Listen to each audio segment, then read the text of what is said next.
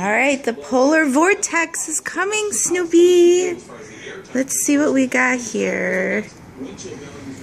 Ooh. Can't even see the lake.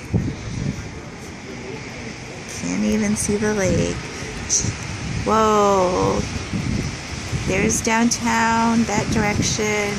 Michigan Avenue doesn't look bad. Not so bad driving. Side streets probably not so much. So don't want to go outside, but I need toilet paper. So there's that.